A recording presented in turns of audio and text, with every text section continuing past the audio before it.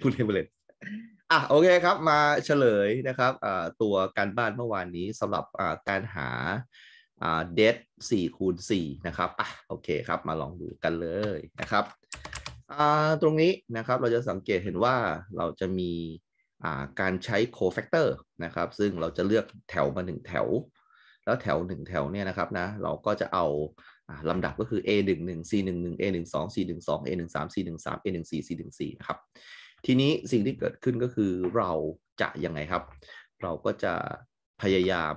าเลือกแถวที่มีศูนย์เยอะๆ จะดีกว่านะครับ เพราะว่าการมีศูนย์เยอะๆ นั้นมันจะทำให้เราตัดใช่ไหมจาก 4พจน์เหลือ 3พจน์เพราะศูนย์ตัวนี้มันก็จัดการไปได้นะครับอะโอเค cofactor ของเราคืออะไร คือการตัดแถวตัดหลักนะครับ แล้วก็หา det โดยมี เรื่องหนึ่งที่เราต้องคำนึงก็คือว่าแถวบวกหลักบวกกันเป็นเลขอะไรนะครับ ถ้าแถวบวกหลักบวกกันเป็นเลขคี่คุณต้องใส่ลบด้วยนะฮะแต่ถ้าเกิดสมมุติว่าแถวบวกหลักบวกกันเป็นเลขคู่ คุณไม่ต้องใส่ลบ ประมาณนี้นะครับนะเพราะฉะนั้นแล้วเราได้หลักการตรงนี้มาเราก็พร้อมลุยนะครับ สามารถทำได้ยาวๆครับอตอนนี้เราจะสังเกตว่า 1 1 2 ตรงนี้มาจาก 1 1 2 ตรงนี้ถูกต้องไหม นะครับ ส่วนเครื่องหมายลบบวกลบมาจากไหนนะครับ1บวก2ได้ 3 3บวก1ได้ 4 เป็นเลขคู่เป็นบวกนะครับ4บวก1ได้ 5 ก็เป็นลบอะไรประมาณนี้นะครับ คิดว่าทุกคนคงจะจูนติดนะตรงนี้นะครับอะมาถึงเวลาในการหาคำตอบแล้วครับเอ่อในการหาคำตอบก็คือเริ่มอย่างนี้เลยแล้วกันนะครับสำหรับ4คูณ4ในวันนี้นะครับอะตัวแรกได้0เนาะจริงไหมตัวแรกได้0เนาะ ตัวต่อไปได้อะไรครับ เราก็จะบอกว่าโอเค มันก็จะวุ่นวายนิดนึงนะ เพราะว่าเราจะผลคูณหารผลบวกใช่ไหมไอ้ผลคุณลงลบคูณขึ้นอะไรวะเนี่ยอะคุณลงลบคูณขึ้นครับจัดการอะเหมือนเดิมครับทุกคนช่วยเหลือครูไผ่หน่อยครับ เช้านี้ครูไผ่หัวตื้อๆครับนะฮะนอนน้อยมากนะครับ นอนไม่ค่อยหลับอะไปครับ ตรงนี้ คูณลงคูณลงคูณลงใช่ไหมครับ แล้วก็ คูณขึ้น คูณขึ้น คูณขึ้นครับ อ่า นะครับนะอะเรามาลองดูกัน เราจะได้ว่าตรงนี้คือลบนะครับอะแล้วก็เราจะมีนะ คูณลงลบคูณขึ้น ได้ศูนย์ได้เลยครับ ได้สามได้เลยครับ ได้สิบนี่คือคูณลงนะ ลบคูณขึ้นนะฮะลบเท่าไหร่ครับสิบห้าบวกกับศูนย์แล้วก็ลบหกประมาณนี้นะครับอะจบนะครับสำหรับ A หนึ่งสอง C หนึ่งสองนะครับ ตามติดมาเลยครับตัวนี้ครับ มาฮะ คูณลงลบคูณขึ้นครับ มาฮะนะประมาณนี้ อะ สิ่งที่ได้ก็คือเบิ้ลออกไปอีก 2 เม็ดตรงนี้นะครับ ไปครับนนี้คือคูณขึ้น คูณขึ้น ใช่ไหมคูณขึ้น คูณขึ้น คูณขึ้น แล้วก็คูณลง คูณลง คูณลงนะครับ คูณลง คูณลง คูณลง ประมาณนี้นะ อะ สิ่งที่ผมได้ก็คืออะไรครับ ถ้ามองดู ตรงนี้เป็นเครื่องหมายบวกเนาะ ใช่ไหมเป็นเครื่องหมายบวกนะครับพอเป็นเครื่องหมายบวกปุ๊บตรงนี้ผมได้อะไรนะครับ ถ้าเรามองดูนะ คูณลงลบคูณขึ้นได้ศูนย์ลบหนึ่งแล้วก็บวกศูนย์ลบคูณขึ้นคือห้าแล้วก็ศูนย์แล้วก็สองประมาณนี้ จบ A หนึ่งตัวนะครับ ตามติดมาด้วยอะไรครับผมลบสองใช่ไหมครับ แล้วก็ตัวนี้ ตัวนี้ก็คูณลงลบคูณขึ้นครับ ประมาณนี้ แล้วก็เราก็ก๊อปสองหลักนี้ไปใช่ไหมนะงานง่าย ๆ นะ ไม่ได้ยากเลยนะครับ เราก็จะเป็นอะไรครับคูณลงลบคูณขึ้นอีกแล้วคูณลงคูณลงคูณลงนะครับ แล้วก็คูณขึ้นคูณขึ้นคูณขึ้นนะครับ ประมาณนี้อะตรงนี้ได้อะไรครับ มองดูเลย คูณลงลบคูณขึ้นได้ศูนย์นะฮะลบสามแล้วก็ศูนย์ประมาณนี้นะ แล้วก็ลบคูณขึ้น ลบคูณขึ้นได้สามได้ศูนย์ได้ลบสองประมาณนี้นะครับ ลักษณะนี้นะ โอเค สิ่งที่ครูไผ่ได้คือสิบสามครับสิบสามตรงนี้คือลบเก้าใช่ไหมสิบสามลบเก้านี่เท่าไหร่วะสี่ไหมประมาณนี้เนาะ ตรงนี้ได้ลบหนึ่งนะ ตรงนี้เท่าไหร่ครับ ลบเจ็ดนะ ก็เป็นลบแปดซัมติงประมาณนี้ ตรงนี้ได้อะไร ลบสามตรงนี้ได้อะไรครับผม ลบหนึ่งได้ลบสี่ประมาณนี้นะครับโอเค สิ่งที่เกิดขึ้นก็คือว่าหูไผ่ก็จะได้ว่าลบสี่ใช่ไหมตรงนี้นะลบสี่แล้วก็เจอกับลบแปดนะครับ แล้วก็ c 2 8เป็นบวก8ปดประมาณนี้นะครับ เด็ดที่ได้คือเท่าไหร่ครับลบ4ประมาณนี้นะครับ โอเคเนาะมีใครไปคิดมาบ้างไหมนะครับ ตรงไหมนะครับ ตรงไหมถ้าถ้าตรงก็ดีใจด้วยนะครับ ก็คิดว่าไม่น่ายากนะครับนะสบายสบายสำหรับตรงนี้นะครับ โอเคอืมผมอยากที่จะชวนคิดต่อนะครับ อีกสักหนึ่งหนึ่งแบบนะครับ อีกหนึ่งแบบนะ อีกหนึ่งแบบที่ชวนคิดต่อก็คือว่าผมอยากที่จะชวนคิดแบบนี้แล้วกันนะครับว่าจากตรงนี้นะครับ ทุกคนสังเกตไหมว่าผมเลือกแถวมาแถวหนึ่งใช่ไหมครับ ผมเลือกแถวมาแถวหนึ่งแล้วเป็นแถวที่ยังไงครับที่เรามองดูเนี่ยก็คือมีศูนย์ใช่ไหมคิมหันครับ ผมอยากจะลองเลือกหลักดูบ้างครับ คิมหันครับ คิมหันเข้าใจนะเมื่อกี้ผมเลือกแถวหนึ่งใช่ไหมคิมหันถ้าเกิดคิมหันมีโอกาสเลือกหลัก ได้หลักหลักอะไรนะครับ ผมอ๋อมีคนโทรมานะครับพี่กายครับพี่กายแล้วกันพี่กายครับ ผมอยากจะเลือกหลักสักหลักนะครับพี่กายพี่กายมีหลักให้ผมแนะนำไหมว่าผมจะเอาหลักไหนดีฮะ ที่มันที่มันใช้ได้ครับผม หลักที่หนึ่งครับ หลักที่หนึ่งอะขอเหตุผลครับ มีศูนย์สองตัว โอเคครับ พี่กายคิดว่าเราจะสามารถใช้ cofactor หา det ได้ไหมเออโดยการเลือกหลักไหมเดี๋ยวเรามาลองดูกันนะ พี่กายบอกว่าเราลองดูหลักที่หนึ่งนะอะครูก็เลยบอกว่าอะโอเค ผมซื้อไอเดียนี้นะครับอะไปดูครับตะตะกี้มันได้เท่าไหร่นะ มันได้มันได้ลบสี่ใช่ไหมอะลองมาดูนะ ผมขอทำโจทย์ข้อเดิมนะครับ คือหาเดดสี่คูณสี่นะครับ โดยหลักการในวันนี้คือใช้หลักแทนใช้หลักนะครับ หลักที่หนึ่งอะฟังให้ดีเราใช้หลักที่หนึ่งนะครับ เรามองแล้วว่าเราจะไปด้วยหลักที่หนึ่งแทนนะครับอะพอเป็นในลักษณะแบบนี้นะครับ มีความคิดอย่างนี้ครับว่า เฮ้ยพวกเรา ถ้าเกิดสมมุติว่าเป็นแบบนี้เนี่ยนะ อยากถามพวกเราจังเลยครับว่า เอ๊ะ เราจะสามารถทำยังไงกับปัญหานี้ได้บ้างนะครับ ขั้นแรกก่อนเลยก็คือเราต้องเขียนก่อนว่า dead b boy ของเราเนี่ยนะครับ ตอนนี้คือหลักที่หนึ่งใช่ไหมหลักที่หนึ่งเนี่ยครับมีตัวละครอะไรบ้าง a หนึ่งหนึ่ง a สองหนึ่ง a สามหนึ่งแล้วก็ a สี่หนึ่งถูกต้องไหมสูตรการหาเดดคือ a หนึ่งหนึ่ง c หนึ่งหนึ่ง บวก a หนึ่งสอง c หนึ่งเอ้ยผิดผิดผิดผิดผิดผิด a สองหนึ่ง c สองหนึ่งนะครับ บวกกับอะไรครับ a สามหนึ่ง c สามหนึ่งนะครับ แล้วก็บวกอะไรครับ a สี่หนึ่ง c สี่หนึ่งนะประมาณนี้นะทุกคนดูครับ เมื่อเป็นเช่นนี้แล้วทุกคนรู้จัก a แต่ละตัวนะครับ ไปครับ a หนึ่งหนึ่งได้ศูนย์อย่างที่พี่กายเลือกอย่างชันฉลาดนะครับ ก็คือเป็นศูนย์ไป ตรงนี้ก็ศูนย์ไปนะครับเหลือแค่ 2 ตัวนี้ครับ a สามหนึ่ง a สามหนึ่งได้หนึ่ง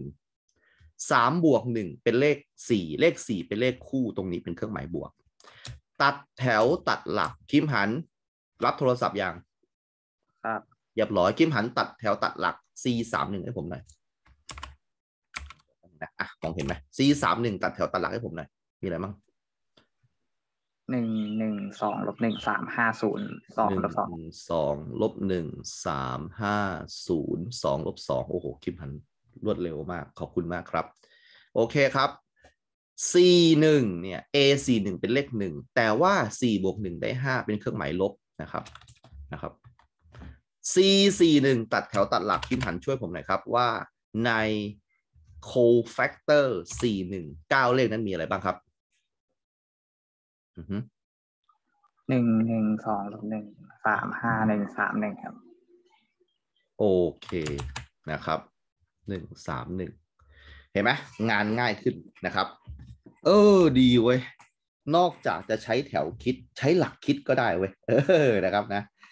ทีนี้พอเป็นการใช้หลักคิดเนี่ย มันก็จะทำให้ชีวิตเราสามารถที่จะคำนวณอะไรต่างๆได้ มีรูปแบบมี ทางเลือกได้มากขึ้นนะครับ มีทางเลือกได้มากขึ้น เอาเนาะลองดูนะอะมาครับ จัดเลยครับผม จากตรงนี้เราจะสังเกตเห็นอะไรบ้างอย่างแรกก่อนเลยนะครับ เราจะพบว่าเราก็ต้องหาเด d ใช่ไหมครับ เราก็ต้องหาเด d อะเด t ของเราก็เหมือนทุกๆ ครั้งที่เราหาก็คือต้องมีการต่อแถวต่อหลักไปครับ ต่อแถวต่อหลักไปครับอะประมาณนี้นะตรงนี้เป็นเลขหนึ่งใช่ไหม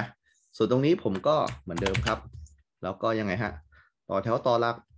ออกไปแบบนี้นะครับ ไปครับตุ๊กกู้แบบนี้นะฮะ เรียบร้อยครับ โอเคนะ ไปเลย เริ่มต้น คูณลงลบคูณขึ้นนะครับ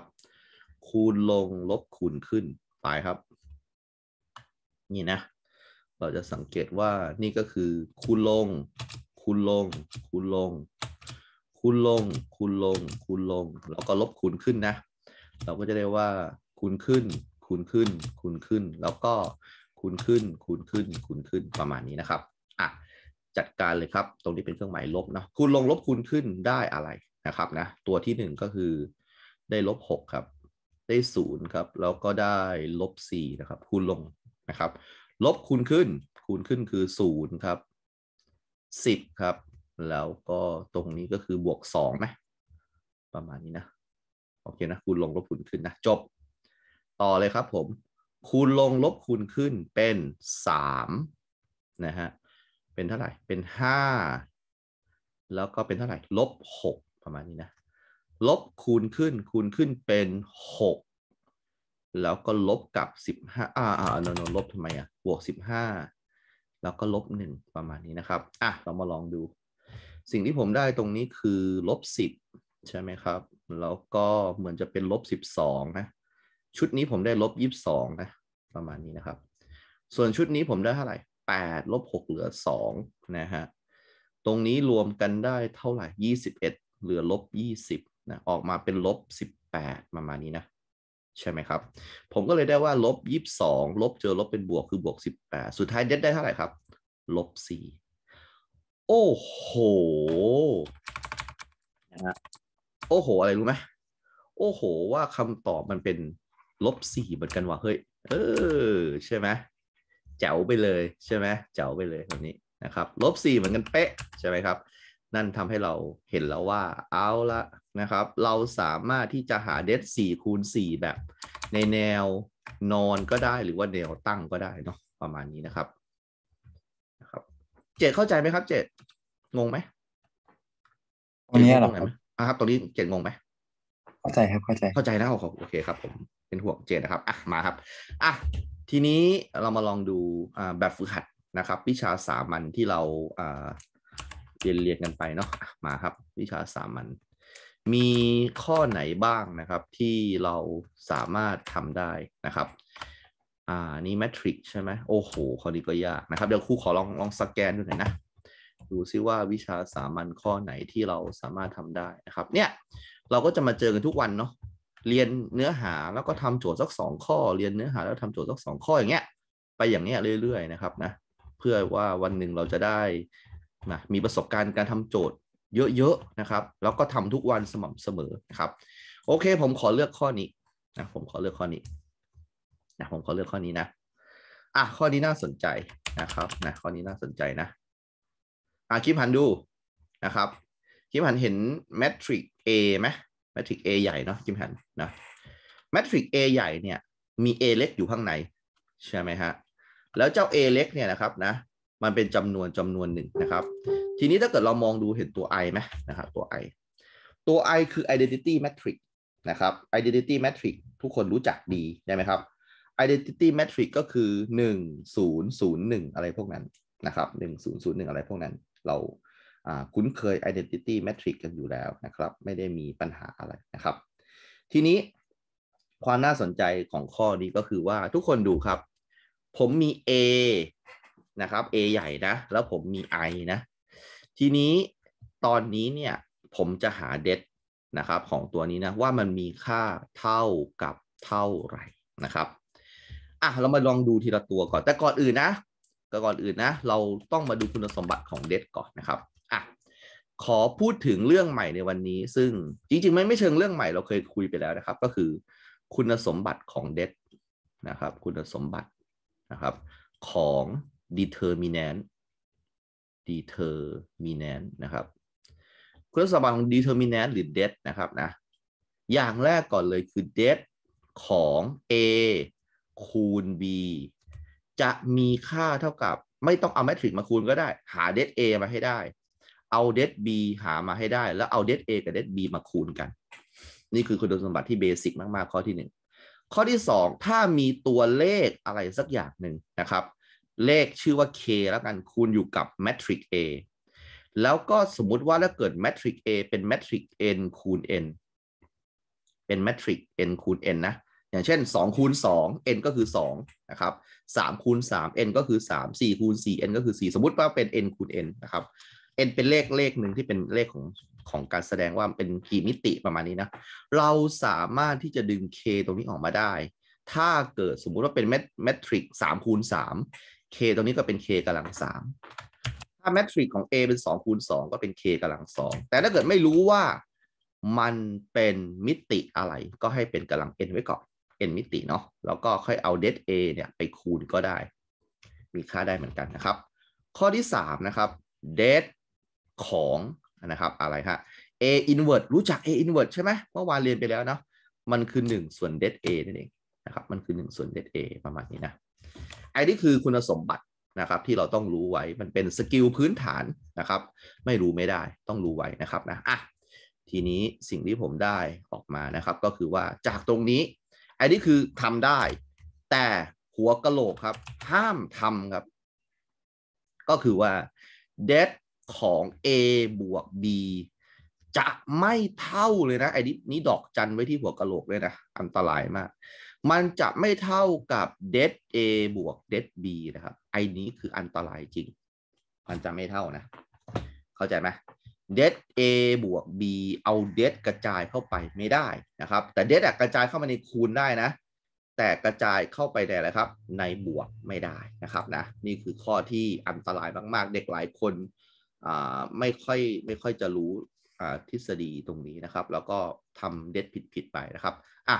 ผมเพิ่งนึกออกว่ามีข้อ 4 ด้วยนะครับเด็ดของ i นะครับมีค่าเท่ากับ 1 เสมอนะครับ i คืออะไรครับ identity matrix identity matrix ก็คืออะไรครับ 1 0 0 0 1 0 0 0 1อะ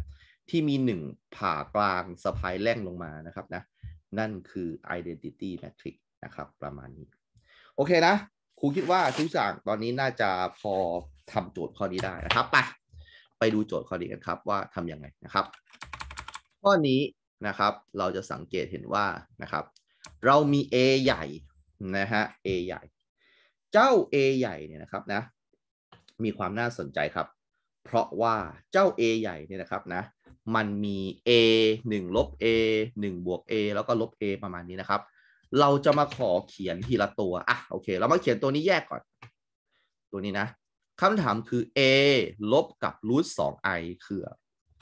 เอางี้ก่อนดีกว่า root 2 i คืออะไรนะครับ root 2 i ก็คือ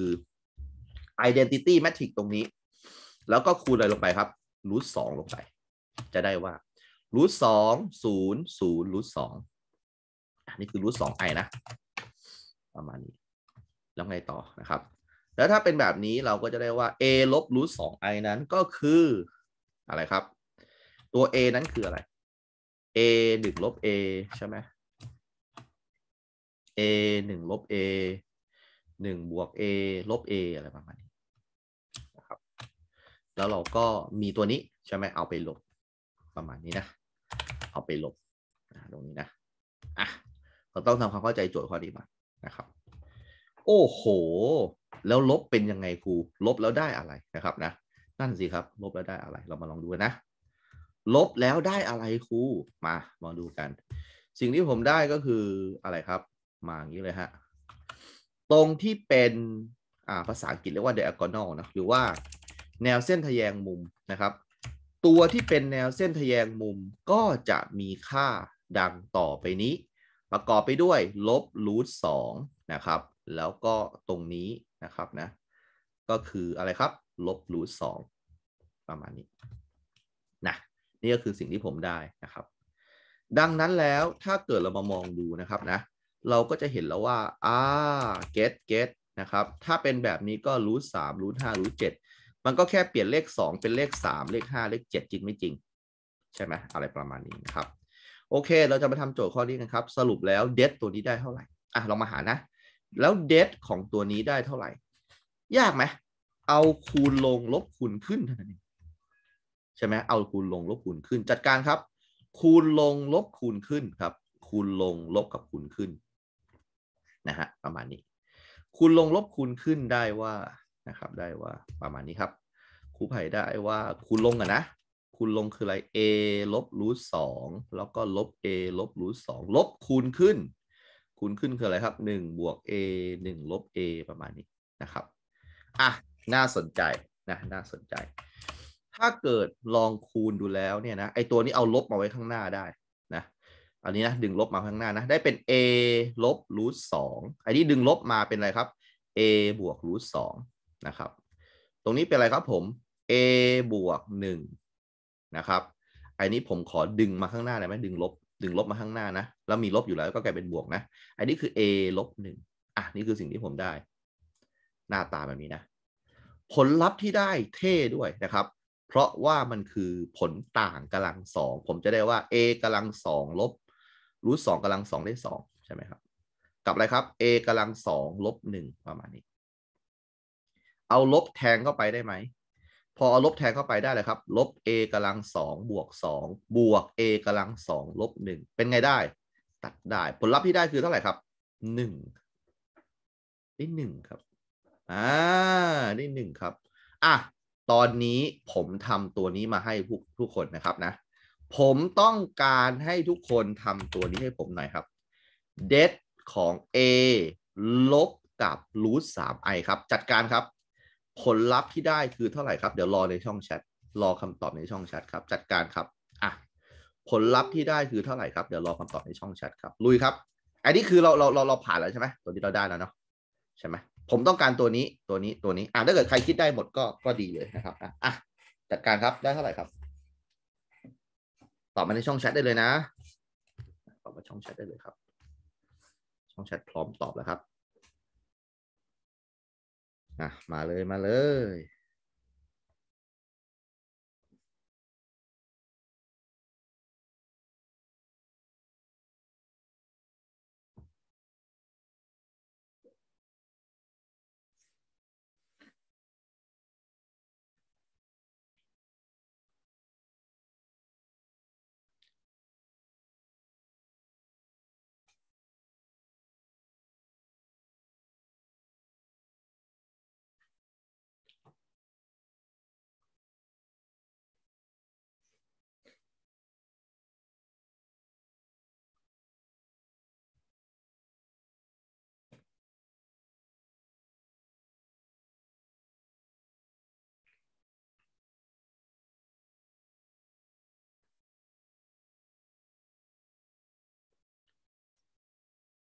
อเคนะครับ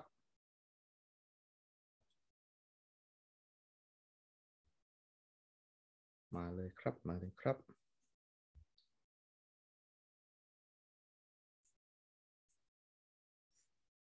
โอเค โอ้โห มาแล้วครับ สุดยอด สุดยอด โอเค อะก็คือผมคิดว่ามันก็คือเราต้องหาเดท แล้วก็เปลี่ยนแค่เลขตรงนี้เป็นเลขสามไหมแล้วก็อีอีข้างหลังนี่ผมว่ามันก็เท่าเดิมไหมเออถ้าเกิดใครช่างสังเกตเนาะโอเคไหมมันก็เท่าเดิมงั้นอะเดี๋ยวผมเขียนหน่อยแล้วกันเนาะเอ่อก็คือเปลี่ยนแค่ไอเนี้ยเป็นเลขสามถูกต้องไหมฮะจะสังเกตว่าโจทย์เนี่ยมันดูยากนะ แต่ถ้าเกิดเราลองเขียนลองอะไรดูสักหน่อยอะ่ะ ผมว่ามันได้นะใช่ไหมวันนี้เปลี่ยนเป็นเลขสามใช่ไหมฮะพอเปลี่ยนเป็นเลขสามคุณก็จะได้ว่าอะไร คุณก็จะได้ว่าอะโอเค ตรงนี้ก็เหมือนเดิมนะครูครูไผ่ดึงลบออกมาเป็นอะไรครับ a ลบรูทสามตรงนี้คืออะไรครับ a บวกรูทสามหนึ่งก้อนเนาะแล้วก็ลบกับอะไรครับผม a บวกหนึ่งใช่ไหมอันนี้ขอดึงลบออกมาเป็น a ลบหนึ่งนะประมาณนี้ประมาณนี้นะครับ เอาละสิ่งที่ผมได้ก็คือ a กำลังสองลบสามนะครับ ตัวหนึ่งนะแล้วก็ a กำลังสองลบหนึ่งนะครับนะแล้วก็มีลบอยู่ตรงนี้ด้านหน้า ผลลัพธ์ที่ได้คืออะไรครับ ลบ a กำลังสองบวก a กำลังสองหาย ลบสามเจอลบก็เป็นสามนะครับสามลบหนึ่งได้ได้สองโอเคเนาะมันก็คือได้สองนะครับ สรุปตรงนี้ได้หนึ่งนะฮะตรงนี้ได้สองพี่กายตรงนี้คือสี่กับหกป่ะพี่กายใช่ไหมสี่กับหกไหมครับครับโอเคนะได้สี่กับหกนะครับ ทีนี้ทุกคนดูครับ ทุกคนเห็นคุณสมบัติข้อที่หนึ่งของผมไหมที่ผมเขียนเนี่ยนะงั้นตอนนี้ถ้าเกิดสมมุติว่าสิ่งที่ผมมีคือเดทนะครับ ของไอ้เจ้านี่ เนี่ยเดทของตัวนี้นะอ่าโอเค ถ้าผมมีเดทของตัวนี้ แล้วก็คูณกับตัวนี้ใช่ไหมครับ แล้วก็คูณกับอีกสองตัวใช่ไหมก็คือรูทอะไรนะรูทห้ากับรูทเจ็ดใช่ไหมฮะประมาณนี้ เพราะฉะนั้นแล้วถ้าเกิดเรามามองดูเราก็จะสังเกตเห็นว่า เราสามารถที่จะใช้คุณสมบัติของข้อที่หนึ่งได้ พอเราใช้คุณสมบัติข้อที่หนึ่งได้ก็คืออะไรครับเดทสี่ตัวที่คูณกันก็แยกออกเป็นสี่เดทจริงไม่จริง ใช่ไหมครับ ก็แยกออกเป็นสี่เดทคือเดทตัวนี้หนึ่งตัวนะครับนะแล้วก็ตรงนี้อีกหนึ่งตัวแยกออกมาเป็นสี่เดทนะโอเคนะแยกออกเป็นสี่เดทเลยประมาณนี้แยกออกเป็นสี่เดทเลยประมาณนี้นะครับอะเป็นไงบ้างมีเดทตรงนี้นะครับ มีเดทตรงนี้แล้วก็มีเดทตรงนี้นะครับสี่เดท โอเค แล้วแต่ละตัวได้อะไรครับหนึ่งคูณสองคูณสี่คูณหกใช่ไหมฮะเราจะได้เท่าไหร่ครับอ่าสี่สองแปดนะครับสี่สองแปดหกแปดได้อะไรครับสี่สิบแปดข้อนี้ตอบเลยครับ ตอบข้อที่ห้าครับ เป็นไงครับ โอ้โห ไม่ยากเลยใช่ไหมฮะนะ จุฬานี้ง่ายๆเลยครับนะฮะธรรมศาสตร์มหิดลมอขอสบายมากบอกเลยกัญญพัฒน์นะ นะฮะได้ข้อนี้หนึ่งข้อนี่คือนะครับพรีเมียมเลยบอกให้นะครับ งงไหมอะครับเนาะคิดว่าพอเข้าใจเนาะพอได้นะครับนะอะลักษณะนี้นะครับ โอเคครูไผ่จะได้เดี๋ยวสัปดาห์หน้าได้ไปเรื่องอื่นนะ เดี๋ยวขอเก็บเด็ดให้หมดนะอะใครที่จดไม่ทันแคปไปหน่อยนะอะแคปไปหน่อยแคปไปหน่อยนะครับ ส่วน 4 กับ6ไม่ไปหาเองนะไอ้นี่ครูครูเชื่อกายนะครับ กายบอกว่าน่าจะได้ 4 กับ 6ครูนะครับครูว่าก็น่าจะใช่นะครับนะโอเค ไปครับ ขออนุญาต ไปข้อนี้ฮะนะตอนนี้เห็นไหมฮะ เรื่องเรื่องแมทริกเราพอทำได้ละตอนนี้ไม่งงละนะครับนะเราต้องเจอโจทย์โหดๆบ้างครับยากๆบ้างอะประมาณนี้ เขาบอกว่า A ของเราเป็นแมทริกสามคูณสามซึ่งเกิดมาจากอะไร เกิดมาจากตัวนี้นะครับ ประมาณนี้นะ โดยที่เราจะสังเกตเห็นว่าเราจะใส่นะครับ i 1ลงไป i 2ลงไป i 3ลงไปนะครับนะ ทีนี้แมทริก A ของเราเนี่ยนะครับค่อนข้างที่จะงงงงนิดนึงว่าอะครูมันทำยังไงอะเดี๋ยวครูไผ่เล่าให้ฟังแสดงว่า i เนี่ยมันเปลี่ยนเป็นเลข 1 2 3 ได้ แสดงว่าสมการที่ 1 คืออะไรครับ a x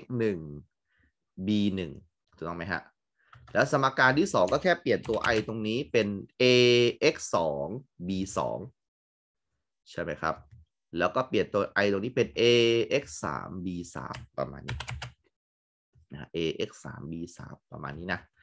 โอเค พอเราได้แบบนี้นะครับ เราก็จะได้ว่ายังไงครับ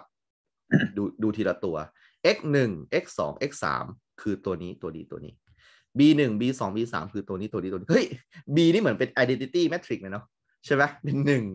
ศูนย์ศูนย์ศูนย์หนึ่งศูนย์ศูนย์ศูนย์หนึ่งวันนี้นะครับนะอะไปครับจัดเลย เพราะฉะนั้น A ของเราเนี่ยเป็นแมทริกสามคูณสามใช่ไหมคิมหันนะคิมหัน แมทริกซ์สามคูณสามเนี่ยนะครับนะเราอยากที่จะเขียนนะครับตัว A เนี่ยนะให้เป็นอย่างนี้ครับ A หนึ่งหนึ่ง A หนึ่งสอง A หนึ่งสาม A สองหนึ่ง A สองสอง A สองสามนะครับ แล้วก็ A สามหนึ่ง A สามสอง A สามสามคือ A เป็นแมทริกซ์สามคูณสามแต่ถามว่าเรารู้ไหมว่าสมาชิกข้างในหน้าตาเป็นยังไง คำตอบคือไม่รู้ครับ ไม่รู้เลย ไม่มีข้อมูลเกี่ยวกับสมาชิกข้างในนี้เลยว่า มันหน้าตายังไงนะครับ แต่ที่เราพอทราบคือเราจะทราบว่าไอ้นี่นะฮะมันมีสมการนี้อยู่จริงใช่ไหมฮะมันมีสมการนี้อยู่จริงอะถ้าเกิดมีสมการนี้ความหมายก็คือว่ายังไงครับ เรามีแมทริกซ์ A นะครับแล้วเราไปคูณกับใคร เราไปคูณกับตัว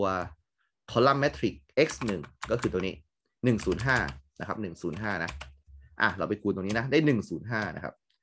105และตรงนี้เป็นไงครับ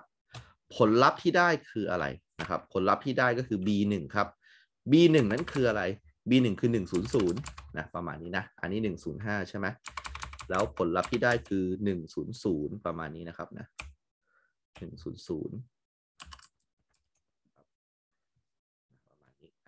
ขอ copy มาหนึ่งศูนย์ศูนย์นะ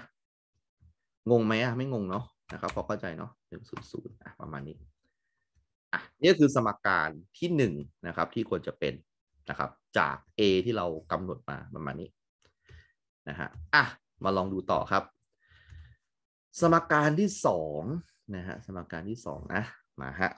ปุ๊บนะครับ โอเคนะมันใหญ่ไปไหมใหญ่ไปเนาะเดี๋ยวขอกดให้เล็กหน่อยอะแล้วก็สมการที่สามก็จะเป็นแบบนี้ ที่แตกต่างกันคือตรงนี้เป็นไงครับผม ตรงนี้เป็น x สอง b สองใช่ไหมครับ x สอง b สองแล้วตรงนี้เป็นอะไรครับ x สาม b สามประมาณนี้นะครับ ตรงนี้ก็เปลี่ยนหน่อยนะครับ ตรงนี้เปลี่ยนเป็นอะไรครับหนึ่งศูนย์ศูนย์เป็นอะไรครับผมศูนย์หนึ่งศูนย์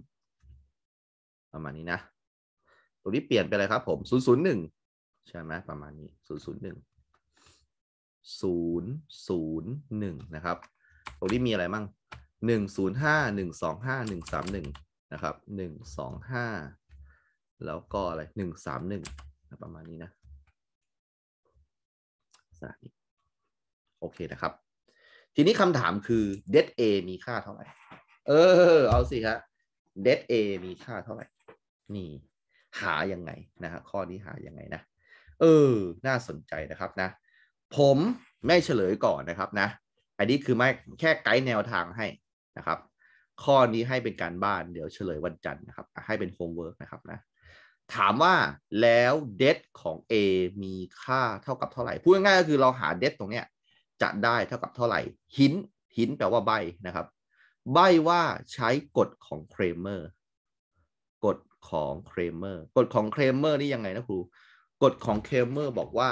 ให้เราหาอะไรครับเดทหลัก เดทหลักก็คือเดท A ใช่ไหม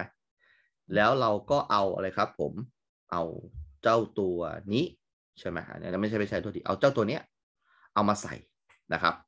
กฎของเครเมอร์เนี่ยนะครับนะถ้าเราจำได้มันคือการที่เราใช้ในการแก้สมการ 3 ตัวแปรใช่ไหมครับแก้สมการ 3 ตัวแปรถ้าเราจำได้นะครับ เพราะฉะนั้นแล้วตอนนี้เนี่ยครับก็คือว่าถ้าเราจำกฎของเครเมอร์ได้เดี๋ยวครูไผ่เล่าให้ฟังนิดนึงนะกฎของเครเมอร์ทำยังไงล่ะเดี๋ยวเราเรียนไปวันไหนล่ะ นี่นี่นี่อ๋อไม่ใช่ นี่นี่นี่นี่คือกฎของเครเมอร์ใช่ไหมครับ กฎของเครเมอร์ก็คืออะเดี๋ยวหายไปละหน้าที่เป็นโจทย์ของกฎของเครเมอร์ก็คืออะเราเราลองไปลองทบทวนดูก่อนแล้วกันนะครับ ว่าทำยังไงนะ เดี๋ยวสอนกฎของเครเมอร์อีกครั้งหนึ่งคงคงเสียเวลานะครับนะ ก็คือกฎของเครเมอร์นั้นบอกว่าให้เราหา det นี้ใช่ไหมครับ แล้วเราเอาตัวนี้ไปสวมหลักที่หนึ่งแล้วเราจะได้ det อีกตัวหนึ่งมานะครับ det ตะกี้นี้กับ det หลักหารกันจะได้ค่า x ก็คือ 1 ประมาณนี้ นี่คือค่า x y z ใช่ไหมถ้ามองดู นี่คือ x นี่คือ y นี่คือ z นะครับนะอะเดี๋ยวเดี๋ยวครูไผ่ครูไผ่ไกด์ให้อันหนึ่งเหมือนกันนะครับนะ คืออย่างนี้ฮะ ถ้าเกิดสมมุติว่ากฎของเครมเมอร์เนี่ยเราจะหาค่า x ใช่ไหมหาค่า x ก็คือเราต้องหาเดทค่า x นะครับ หารด้วยเดทอะไรครับ เดทหลัก เดทหลักในที่นี้ เดทหลักในที่นี้คือเดทอะไร เดท a ใช่ไหมครับเดทที่จะหาค่า x สำหรับตรงนี้นะสำหรับตรงนี้นะ เราจะหาค่า x เราจะต้องมีเดทตัวหนึ่งใช่ไหมเดทหาค่า x คือ1 0 0นะครับ แล้วก็ a คือ a 1 2 a 2 2 a 3 2นะครับ a 1 3 a 2 3 a 3 3เราใช้ตัวนี้ เสร็จจากตรงนี้แล้วยังไง เราจะได้เดทออกมาค่าหนึ่ง เราจะเรียกว่าเดทหาค่า x นะครับ สมมติว่าตรงนี้ผมได้ว่ากอไก่ เราเอาเดท a ตรงนี้แล้วก็กอไก่มาหารกันกอไก่ตั้งหารด้วยเดท a ค่าที่ได้คือค่า x ครับ แต่ข้อนี้พิเศษคือค่า x ให้มาแล้วว่า